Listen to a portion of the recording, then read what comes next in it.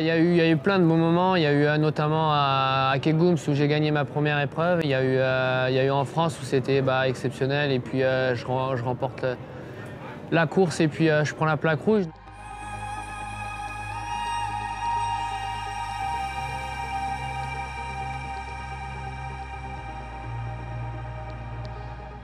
J'ai euh, j'ai eu d'autres victoires, notamment en Bulgarie, où, là, c'était ma plus belle victoire, où je, je gagne et puis, euh, et puis je suis champion d'Europe, donc euh, c'était exceptionnel.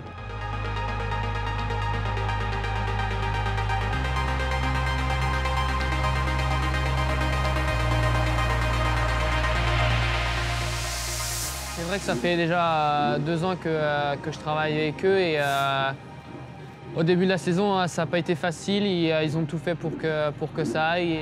Vraiment, vraiment fait une bonne évolution hein, tout au long de la saison et, je pense que tout le monde est, euh, récompensé euh, en étant champion d'Europe.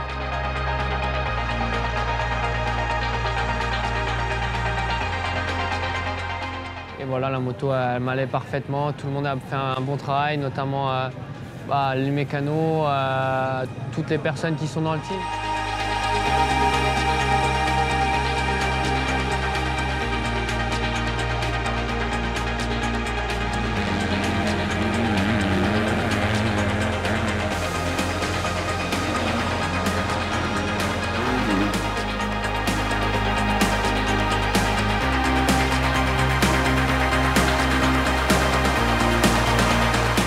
C'est vrai que euh, ça fait deux ans que je roule euh, sur la 250 CRFR, donc euh, donc c'est une moto que j'apprécie énormément et, qu'elle est, hyper facile et, elle me correspond très très bien.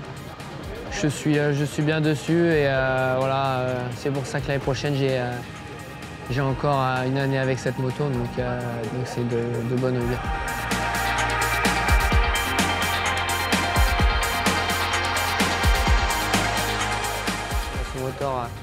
A, été champion d'Europe et, euh, moi aussi, donc euh, tout le monde était, euh, était satisfait d'être champion d'Europe.